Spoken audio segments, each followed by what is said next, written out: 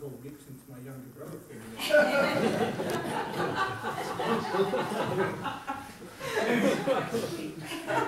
You're, you're a penny, aren't you? Yeah.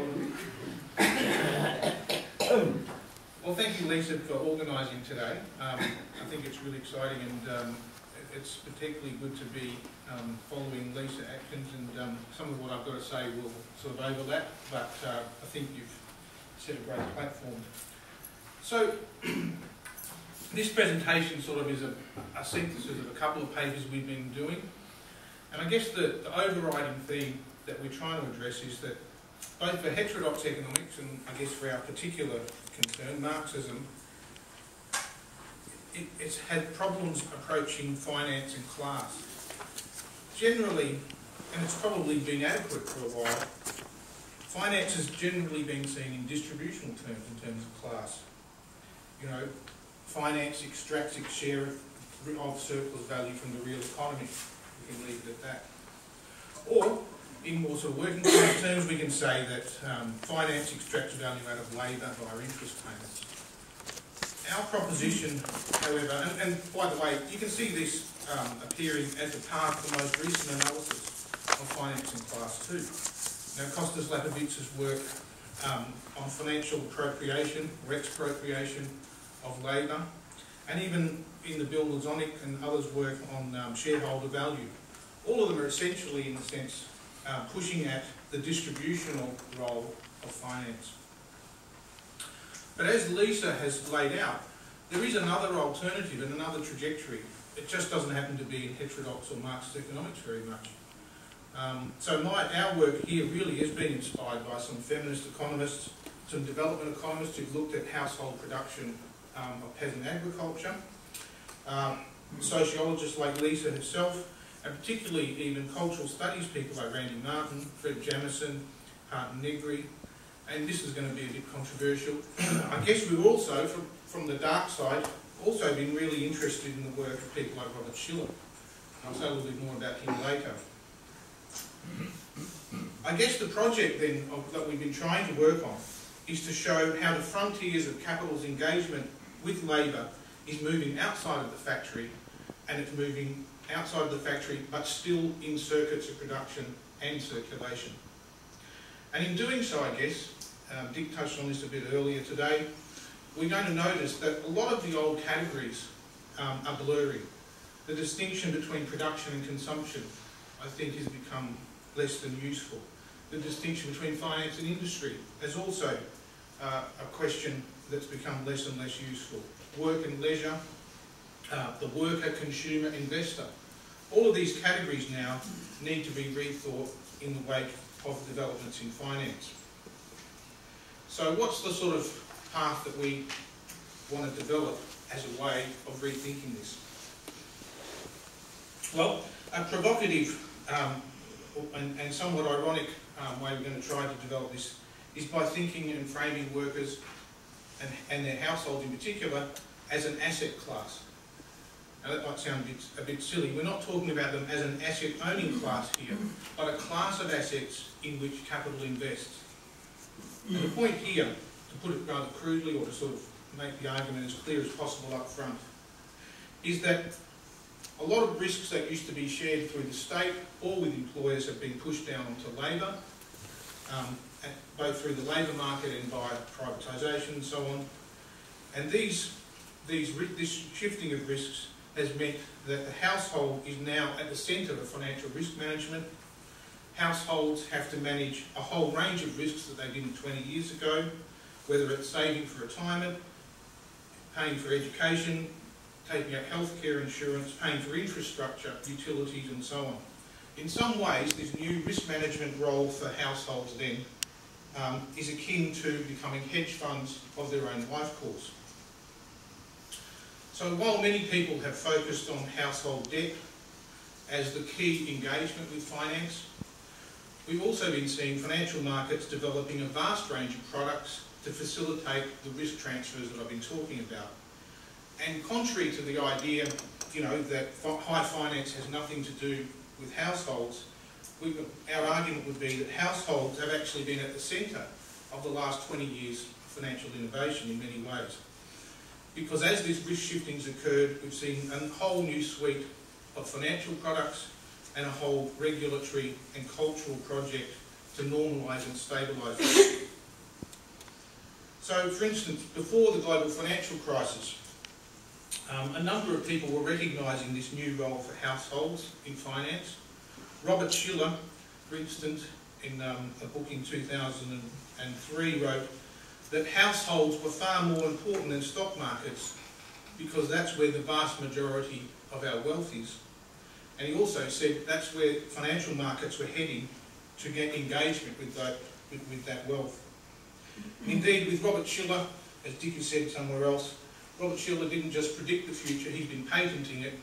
You can now buy Case-Shiller house price indices for many of the regions across the US, and um, I'm sure once the the price series is available in Australia, you'll start to see the same sort of things before. And just so that uh, we don't focus on, you know, behavioural economists, in 2006, just before the um, GFC, the IMF, in their financial stability report, famously said that there'd been a transfer of risk from financial markets to households, and they thought that this risk was fantastic because it had diversified the risks and made the system more stable. Now, of course, they made the call right that it was that there had been the risk transfer, but they had underestimated the stability implications. But we'll come back to the post-GFC project of that in a minute. So the, the central part of this risk shifting and the growth of finance is the process of securitisation. Lisa's already touched on it a little bit. Um, the key part about these is that a whole stream of payments centred around debt, but increasingly around a whole range of fixed commitments that have debt-like characteristics, but more importantly are fixed. That's the key point, is that they don't have to be called a debt. In utility payments and all sorts of other things are perfectly securitisable as long as they're regular. So simply framed, an increasing range of household payments, loan debts, and these other fixed payments we've been talking about are being bundled up into income streams and sold into financial markets. Mortgage-backed securities, of course, are the most famous, but auto loans, credit card debt, student loans, utility payments are also emerging as areas of growth of securitisation markets. Now, the GFC, of course, showed that the geometric expansion of, high, of household risks and fixed financial commitments were a disaster. Ha households in the US defaulted and crashed the US and then the global financial system. So how do we deal with that? Does that show that this project of financialisation is finished? Is it sort of um, a, a temporary blip and we'll go back to some sort of normality? I guess five years on we're able to make a bit stronger a call. Perhaps we can say that, or frame this extension of risks and costs in the way it happened as toxic, but also as a form of primitive accumulation or of absolute surplus value extraction. It was about increasing the absolute risk and financial commitments of households, often quite literally beyond breaking point. So here's the inherent problem then with financialisation, its instability. So financial markets want, want um, regular payment streams um, to bundle up into securities, but this risk shifting um, created an unstable household sector. So the project, I guess, that we would nominate for capital in the wake of the GFC is normalising those household income streams, making households, if you like, safe for capitalism. A couple of indications of this. Since the GFC, and um, especially since Obama came to power, um, we've seen a number of things. They have what's called a National Financial Literacy Week every year. Now, at the launch of the first one, he said something like, look, um, obviously the, the, this financial crisis was the product of banks lending to people that they shouldn't have. But it was also the product of people taking on commitments that they knew they, they couldn't make. The resolution then was to make households aware of the sort of financial commitments that they had and make them and give them education so they know how to behave and how much risk to take on. Let me just read you another little thing. So that's one side of that, that regulatory response. And um, we'll also note that the US Federal Reserve has now has a project of mod modelling US household balance sheets. Um, I think it's the Federal Reserve of Kansas now has a, a Centre for Household Financial Stability. And you'll see a lot of reports around the US Fed saying that they've now realised that the household sector is at the centre of financial stability. And the project, rather than to take households out of finance, financial stability is not about abstinence from finance, it's about the ongoing stabilisation of households and finance. So these strategic initiatives, in a sense, you could think of them then as about the project of real subsumption of labour to finance. and there's two dimensions to that project. The first one that I've said, which is to make households reliable payers who will prioritise their regular fixed commitments over and above anything else to make sure that they don't default. So financial literacy programs like the Obama Initiative are now quite pervasive. You can see them in the OECD, in Britain, you can see them here. Um, these are sort of, and remember, these are highly moralised stories about how it's so important that you um, make sure you make those payments, and of course, if you don't, it must be your fault.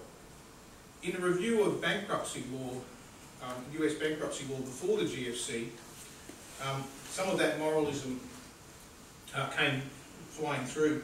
I think Hank Paulson um, called people that, that uh, default on their mortgages mere speculators. Um, Alan Greenspan said that the rise in US bankruptcy um, was a signal that, that Americans had lost their sense of moral shame. Um, perhaps the best one um, that I liked was that the, the bankruptcy report itself made the analogy between becoming bankrupt, the decision to become bankrupt, and shoplifting. in other words, uh, shop stealing is the moral equivalent of, of becoming um, a defaulter. So that's one side, which is normalising household engagement with finance. And it's absolutely clear, I think, that you know, five years after the GFC, that, that this project of, ex, of expanded accumulation out of households um, is, is continuing. But there's also another project for capital, and this is part of that modelling of household balance sheets and so on. We see this also in you know, major developments in financial markets in attempts to measure the possibilities of default for households. And the key here is to try and calibrate precisely the risk of default over a range of different types of financial commitments. Because pricing that risk is integral to securitisation. Securitisation only really works when those payment streams can be calibrated for their risk return characteristics. So paradoxically, in trying to work out how risky households are, finance has become at the centre of measuring poverty because responsible lending now is that you can that, that you would lend enough so that you soak up everything, every possible source of payment except what's absolutely necessary to survive on. So measuring poverty is now a central project for finance and financial markets. So we've got then central banks monitoring household balance sheets. Even the notion of a household as a balance sheet, you know, it shows you how far we've come down the process of financialisation. And finance then measuring the capacity of different households under different conditions to continue to meet those payments.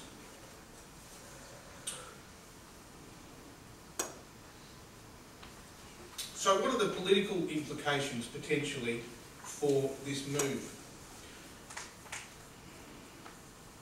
I think the first one that, that Lisa's already started to flag is that we need to start thinking much more expansively about the capital-labour relation wage labour as the sort of central arc or anchor for class analysis has to be rethought because the household now in sort of forms that we never thought of before are now producing value which is becoming securitised. Um, you know, Dick even mentioned that um, producing use values like communicating on Facebook now are part of the securitisation market. And I think it's important that we just be open, a lot more open than, than a lot of heterodox economists have been, to think about how value is created in the financialised economy. So the stylized factory, I think, just doesn't get us there, and how we think about the household um, differently will be, I think, a real test of how, how much heterodox economics can renew itself. And I think politically then, if Labor's households are now a key to financial stability, we, we can see a different sort of potency. Of course, we saw that potency only in the negative in the GFC, in its, in its, once it found itself unable to pay back mortgages, um, it collapsed the financial system. But the whole um, anchor of the financial system now is on liquidity provided out of households. And that's, that's a certain potency that we could, could consider and think about. Um, at the very least, then, it identifies these, some of these sort of spontaneous acts like strike debt as interesting experiments in different types of resistance to capital. Um, perhaps I'll end there and we can pick up some of the other things at the end. Thank you.